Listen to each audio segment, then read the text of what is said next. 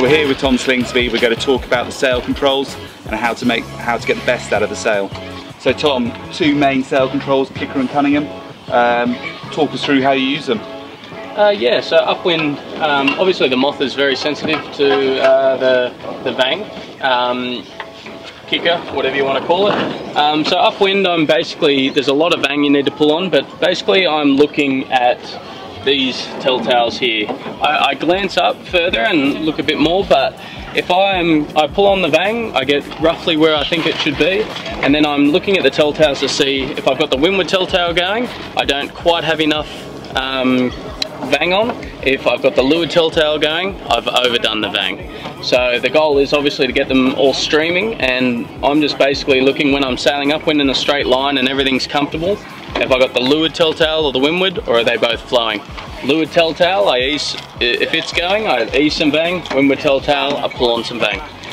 Um, moving to the Cunningham, I basically get my vang in the right spot and as long as there's not huge pressure differences of more than say four, five knots, then I might have to change the vang in different gusts. But if it's within five knots of pressure differences, I'm playing the Cunningham upwind. Um, basically it's a pressure thing and a, a, moding thing for me. If I want to go fast and, uh, and there's plenty of wind, I have that right on and I'm trying to just flatten out the sail as much as possible and uh, less drag and go quick. If I want to go into a higher groove and I want a little bit more entry angle, I ease Cunningham and I sail in a bit of a higher groove. But for that, that's really my accelerator, the, um, the Cunningham. For If I want to go fast, I have it on tighter. If I want to go a little slower in a higher mode, I ease it off. And, and how big would you say that adjustment is on the Cunningham? Uh, it's basically if I want to go into a high mode or I come into a light, lighter patch of wind, I let it go and for me it just goes to my friction amount. So if I have it right on and then I, if I've got the vang on with it, I'll ease that out and basically where it wants to go. It just frees up to the amount you need and it's not a huge adjustment but it's uh, it's definitely enough to power you up through a lighter section. So just a subtle adjustment, just as you say, to get through those lighter bits. If, if it does go more than say five knots of pressure differences, I'll ease a bit of vang, and then I'll also do Cunningham so I can get even more off than I usually would. Yep. And trimming the main upwind, how much are you finding you're working the sheet or what are you looking to do? Yeah, obviously it's a combination of steering and angle of heel and everything, but I'm really looking just to have small movements. I want to be block to block on the on the um, the main sheet and then off maybe that far. So it's sort of like a foot of movement um, going upwind. Yeah, so upwind I'm sort of anywhere from sort of there to, yeah, we don't have much wind here, but that's probably off and that's probably on. One foot of play. Um, that's sort of my upwind and I'm just really just trying to keep it on that edge. If I'm, if I'm having to ease too much, I just have to steer up a bit more. If I'm having to block to block all the time means I'm just sailing too high a groove. And then you're just focusing on these lower telltales. Yep. And adjusting Cunningham to, to vang to mm -hmm. pressure changes and, and, really, and vang to bigger pressure changes. Yeah, and once I get my rough setting, I'm not looking at the sail too much to tell you the truth. I, I know it's in the right area and I'm just looking at the wind ahead of me. I'm just, yep. if, if I see a light patch coming, I'll let the Cunningham off before I get to it. And if I see, and I see the, we're coming out of the light patch and the breeze is coming on, about half a second before it happens, Cunningham's back on. So as soon as I get the gust, I'm accelerating. Got you. And are you looking at the leech telltales at all? Uh, I just make sure they're in flow. I mainly use the leech telltales downwind just to make sure I've got flow and I haven't got too much twist or anything weird going on. Uh, but in general, I just use these ones here. Yeah, so that's quite good. So now moving on to downwind, we're approaching the windward mark and we're about to do a, a run. What are you? What's going through your head? What are you going to let off? What are you going to do? Yeah, so obviously on the Moth as we go around the top mark you've got a lot of different controls, your ride height, your wand, your gearing, but uh, you take that away, I will go, so if we're in upwind settings for your uh, Vang and Cunningham, first thing I'll do is I'll over ease the Vang. So just say I want to go, that's my downwind setting, I'll ease it further than that, and then, and then I'll go Cunningham and I'll ease that as much as it'll go and then I'll reach back in and bang back on a touch. It just it gives me a little bit more depth in the front um, for, for the uh, amount of vang I sail with downwind.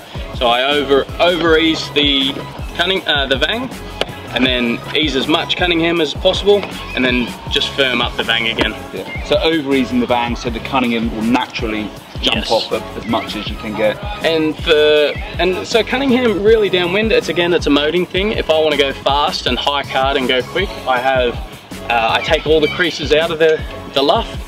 If I want to sail a VMG mode, I just ease it off as much as it'll go. And usually there's some creases when you got a bit of wind pressure there.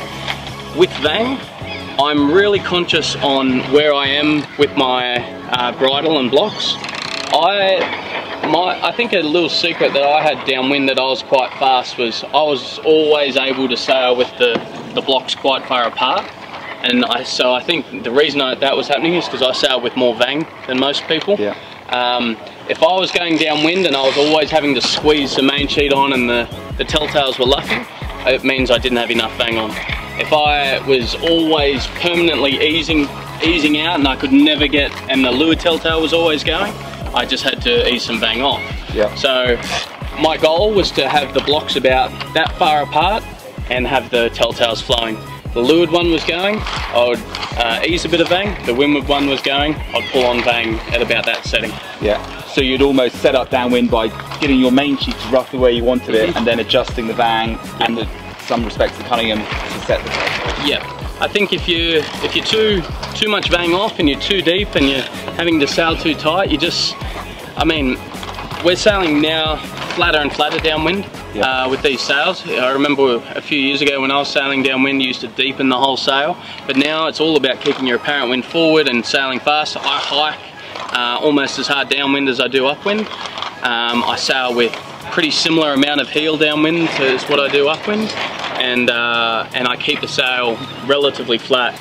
In the past, where I might have eased a heap of vang, like a lot, right now I ease half that. I probably go that much off and Cunningham off, and that's my downwind setting. It's probably on a, a roughly a 48 to 1 system. It's probably I'm easing two feet maximum of um, of vang. Yeah. And uh, do you look at the twist much downwind? I, I do look at the twist um, a little. If I'm powered up, I am very flat. Yeah. Um, if I am looking for power, I'll twist a little bit more. Well, I'm just trying to create more depth up top. Um, but uh, I'm not too driven by it. As long as my telltales are, my leech telltales are flowing, Yeah. I, I don't worry about twist too much. So on the DS batten, again, I just try to tension it so the creases come out. Mast rake is quite important in the in the moth in, for a number of reasons. Um, one, obviously boat speed, and in general, the moth seems to go better with more rake. But almost more importantly than that is boat handling and being able to tack and jibe cleanly without your body hitting the boom. So as a, as a rule, what I do is set my boat up, pull the vang onto maximum, and then measure between, my datum is between the two wing bars here and the boom. Um, and as a rule for me, I don't go below 75 centimeters. At the moment, I'm on 78 centimeters. So I think it, it's personal preference, but between 70 and 80 centimeters is a good benchmark for the majority of sailors. And that way, I think you've got enough room to tack and jibe without the boom interfering. I would always launch my boat in the controls in what I would call an eased condition. This is the sort of condition I would sail the boat in in a low riding state, relatively powered up mainsail. What we're trying to achieve from the Moth is a big shape change, A between light air and heavy air, but also between upwind and downwind. And the way we achieve this is essentially by pulling on the kicker and the Cunningham relatively hard. So as the, as the wind increases, I'm increasing my vang tension.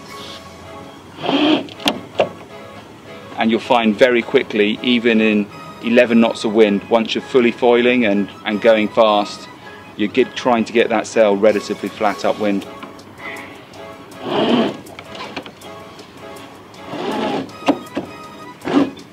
So as my vang increases, so does my Cunningham. I'm really trying to flatten out this mainsail. When I round the windward mark, I then obviously ease the kicker and Cunningham off. Here it's, it's quite important not to ease too much because the speeds we're doing downwind now, you need to keep quite a straight leech and not have too much twist. So the first thing I will do is ease the Cunningham off all the way.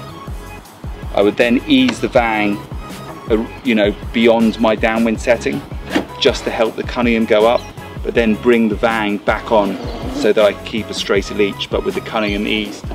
So often on the shore, it's surprising that when you look at your downwind settings for that day, the mainsail's way flatter than you think it might be.